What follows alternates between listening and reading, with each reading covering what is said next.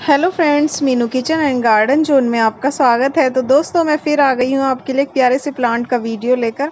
आज हम जिस प्लांट पर बात करेंगे, दो, दोस्तों, उसका नाम है हिबिस्कस यानी गुड़हल, चाइना रोज़ बहुत सारे नाम दोस्तों इस प्लांट के हैं और अलग अलग जगहों पर अलग अलग वैरायटी में ये जो प्लांट है, वो मिलता है। और बहुत सारे देशों में दोस्तों ये जो प्लांट है, वो पाया जाता है। और हमारे देश में दोस्तों इसकी बहुत सारी वैरायटी हैं, बहुत सारे देसी वैरायटी में भी आता है हाइब्रिड वैरायटी में भी आता है और छोटे फूल भी इसके आते हैं और स्लीपिंग हिबिस्कस भी आता है दोस्तों, जिसको मिर्ची गुड़हल कहते हैं। तो इतनी सारी वैरायटी इस प्लांट की है दोस्तों।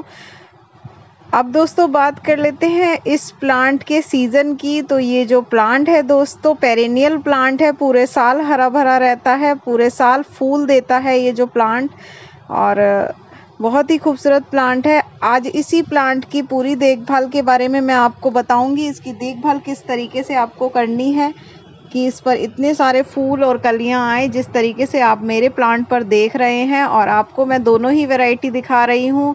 हाइब्रिड वैरायटी भी और जो देसी वैरायटी है वो भी, दोनों वैरायटी मेरे पास है। तो दोस्तों, इस प्लांट को जो है गर्म टेम्परेचर बहुत पसंद होता है। फैब मंथ में दोस्तों, इस प्लांट में आप अच्छे से खाद दे दीजिए क्योंकि ये डोरमेसी से निकल जाता है। निकलने के बाद ये जो अपनी ग्रोथ है वो स्टार्ट कर देता है तो इसको क्या करना है दोस्तों? आपने अच्छे से इसकी जो मिट्टी में खाद दे देनी है। अब बात करते हैं दोस्तों, जब आप इस प्लांट को बाय करके नर्सरी से लेकर आते हैं तो तब आपने इसकी मिट्टी कैसे बनानी है? तो मिट्टी बनाने के लिए दोस्तों, आप एक हिस्सा कंपोस्ट ले लीजिए, एक हिस्सा मिट्टी ले लीजिए, एक हिस्सा आप इसमें बालू रेत मिला लीजिए और दो मुट्ठी के लगभग दोस्तों आप इसमें नीम खली ज़रूर डाल दीजिए, क्योंकि नीम खली दोस्तों प्लांट को फंगस के अटैक से बचाएगी। इस प्लांट में दोस्तों इंसेक्ट का अटैक ज़्यादा होता है।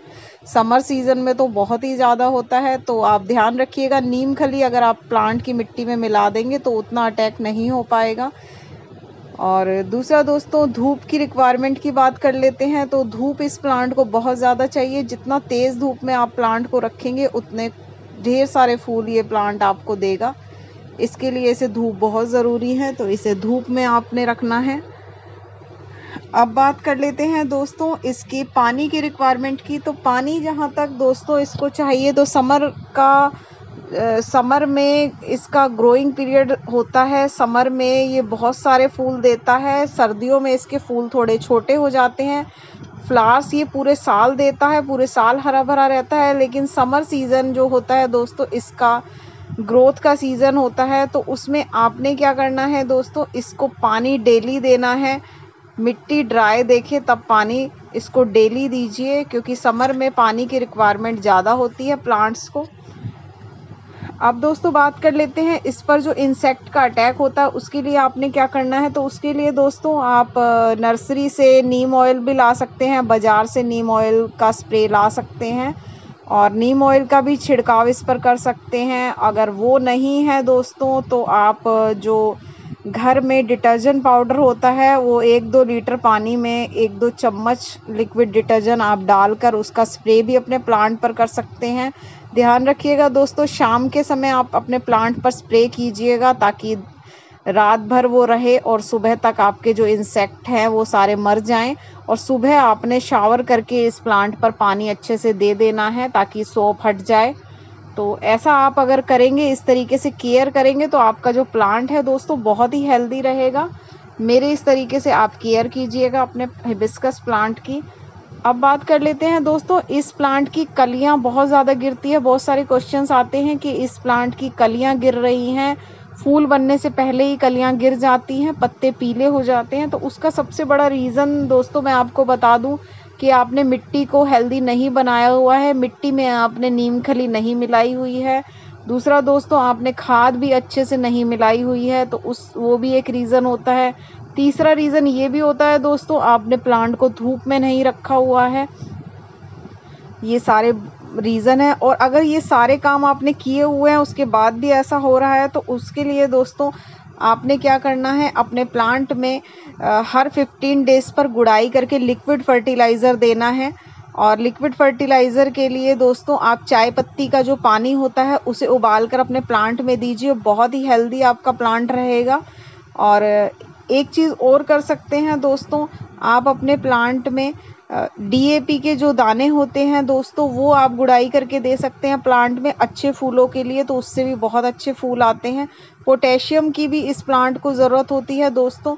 वो भी आप दे सकते हैं। आप जो ऑरेंज पील के छिलके होते हैं, वो दे सकते हैं अपने प्लांट में डाइल्यूट करके पानी में। और बनाना पील के जो छिलके होते हैं, वो भी पानी में डाइल्यूट करके दे सकते हैं अपने प्लांट में। तो ये सारी चीज़ें दोस्तों आप ध्यान रखेंगे तो आपका जो प्लांट है वो बहुत ही अच्छा होगा। अब बात कर लेते हैं दोस्तों इसकी प्रूनिंग की। आपको इसकी शेप को कैसे मेंटेन करना है? तो शेप मेंटेन करनी दोस्तों प्लांट की बहुत ज़रूरी है। ऐसा नहीं कि प्लांट की एक टहनी बहुत लंबी जा रही है, एक बहुत छोटी जा रही है तो प्लांट देखने में खूबसूरत नहीं लगता है।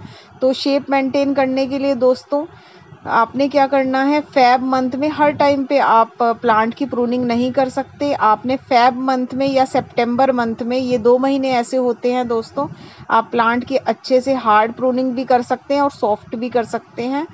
तो ये दो महीने में आप अपने प्लांट को अच्छे से शेप दीजिए। बाकी थोड़ा, बरसात में भी दोस्तों आप प्लांट को शेप दे सकते हैं। तो उससे क्या होता है दोस्तों प्लांट को आप अगर अच्छे से शेप दे के रखेंगे तो प्लांट पर फूल ज़्यादा आएँगे, कलियाँ ज़्यादा बनेंगी, क्योंकि जो नई नई ब्रांचेस होती हैं दोस्तों नई नई शूट्स निकलती हैं प्लांट पर उसी पर कलियाँ बनती है और फूल आते हैं। तो इस चीज़ का आप ध्यान रखिएगा अपने प्लांट में।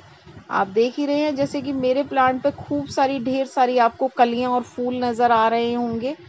तो ये सब इसीलिए है दोस्तों कि मैं अपने प्लांट की जो है वो अच्छे तरीके से केयर करती हूँ, मिट्टी अच्छी बनाती हूँ दोस्तों प्रूनिंग करती हूँ टाइम टू टाइम ध्यान रखना पड़ता है दोस्तों प्लांट्स का। अगर आप अच्छे अच्छे फूल चाहते हैं अपने प्लांट्स से तो दोस्तों थोड़ी सी मेहनत तो आपको करनी पड़ेगी प्लांट्स के लिए, तभी आपको इतनी अच्छे रिज़ल्ट मिलेंगे। तो अगर दोस्तों मेरी वीडियो आपको पसंद आई है और मेरे चैनल से आपको कुछ भी फ़ायदा होता है तो मेरे चैनल को लाइक शेयर सब्सक्राइब ज़रूर कर दीजिएगा। Thank you